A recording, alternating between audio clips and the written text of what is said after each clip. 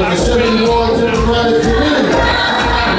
I, Bishop Andre States, the chairman, the Honorable Bernice Robinson is the vice chair. We got First Lady Shanice Baker.